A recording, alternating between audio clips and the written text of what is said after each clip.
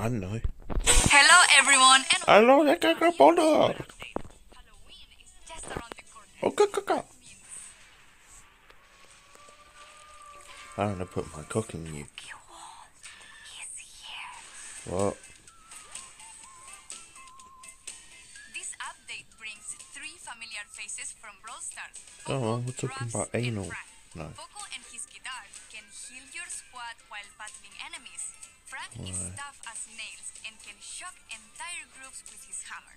What? will instantly give you a fusion and can even help What? you get more lucky finds. What? The three characters are arriving with the brand new Spooky World, along with a new sneak peek event.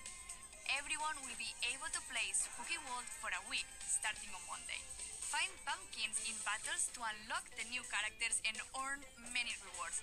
But watch out for wicked monsters. They may look familiar in the shadows, but trust me, I don't understand. Do you have to farm? Spooky World also brings What? two new mods. Loot Machines lets you buy loot with coins instead of chests. But don't get too greedy and forget to build your squad.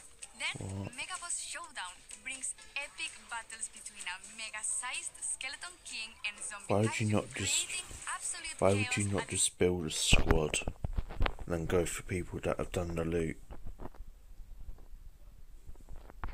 center of the map. Now, you know the drill.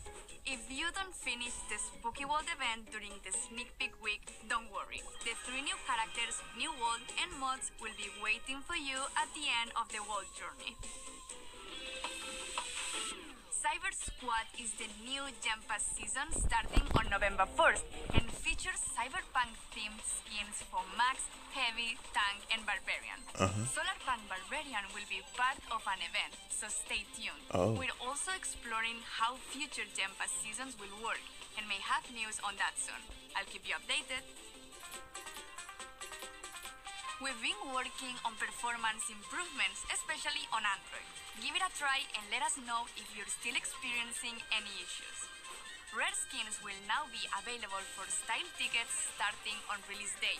And soon you will find oh. more style tickets coming from events, rewards, and in the shop. We've also improved reward chests. Classics and supers won't drop from this anymore, letting you instead always open chests full of babies. More babies means more evolving, which means more star tokens.